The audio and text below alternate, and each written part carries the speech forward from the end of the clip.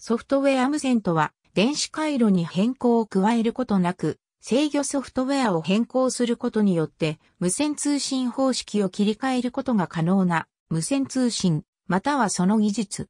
一般的には、広い周波数範囲において、多くの変調方式が可能となるよう、ソフトウェアが、なるべく汎用性の高いプログラム可能なハードウェアを制御するものとして考えられている。ソフトウェア無線は、汎用コンピュータその他の電子機器が相当数の信号処理を行うことで実現される。ソフトウェア無線についての研究は、新しいソフトウェアを動作させるだけで、新しい無線通信方式を実現するような無線機器を作り出すことを目標にしている。ソフトウェア無線は、特に軍事及び携帯電話の用途に非常に役立つものと考えられている。両者はいずれも常に変化する無線通信方式の下で動作することが求められている。ソフトウェア無線のハードウェアは特徴的にはスーパーヘテロダイン方式の無線周波数部とアナログデジタル変換回路及びデジタルアナログ変換回路により構成される。他方で現在のソフトウェア無線の中にはごく簡単な無線モデムとして動作するために使用されているものもある。将来的には無線通信の世界においてソフトウェア無線が支配的な技術になるだろうと見る向きもある。ソフトウェア無線はコグニティブ無線を可能にするものである。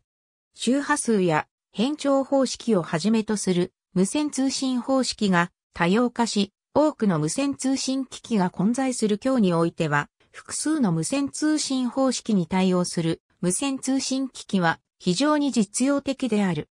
実際に複数の無線通信方式に対応したマルチモード端末が登場している。無線通信の実用化以来、多くの機能はハードウェアにより実現されてきたが、ハードウェアによりそうした機能を実現するためには、その無線通信方式と同じ数の電子回路が必要になり、小型化やコストの点で困難な場合も少なくなかった。しかし、従来のハードウェアに代わって、ソフトウェアによって様々な無線通信方式を実現できるならば、面倒な作業をすることなく、簡単に新たな機能を追加したり、機能を変更することができるという利点がある。このため、従来はすべてハードウェアにより実現していた無線通信機器の機能の一部をソフトウェアに置き換えたソフトウェア無線や、そのための技術の開発が行われている。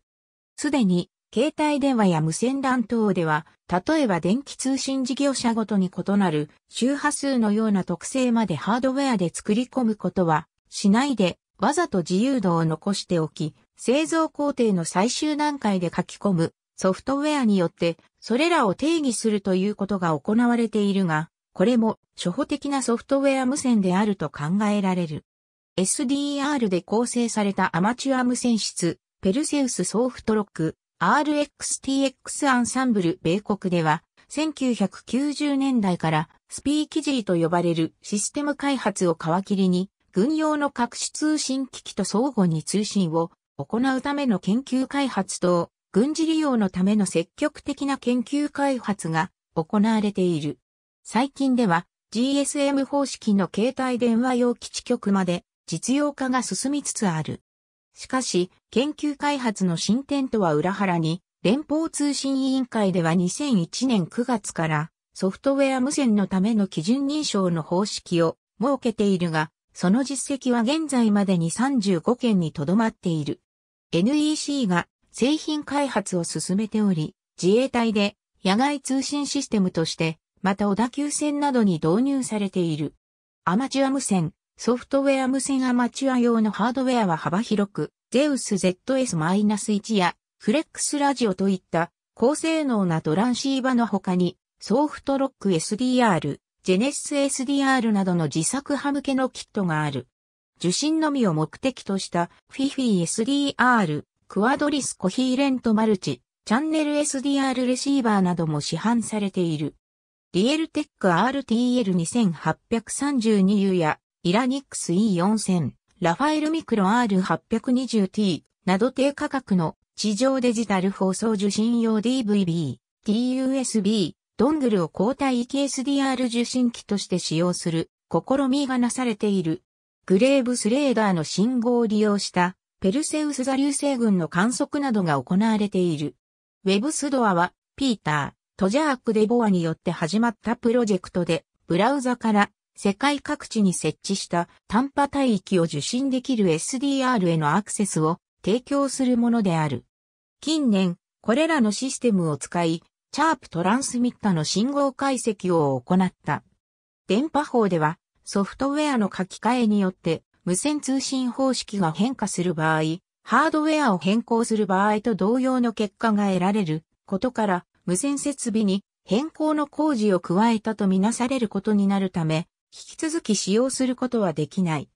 このため、主として関係する学会を中心として、特に本格的なソフトウェア無線の実用化を念頭に、ソフトウェアを書き換えた場合でも引き続き使用することができるような法整備を望むとの声もあるが、他方、無線通信の渾身を防止するための確実な手段を講じることができない等の理由から、実際に無線通信を使用する側からは異論が出されている。ちなみに、2005年に日本の無線 LAN のチャンネルが改められた際に、主として消費者保護の観点から、特別に試験的なソフトウェアの書き換えによるチャンネル変更が認められている。各磁気共鳴文法系や各磁気共鳴画像法で、従来の複雑で高価で柔軟性に欠けるハードウェアをソフトウェア無線に置き換える試みが進められる。ありがとうございます。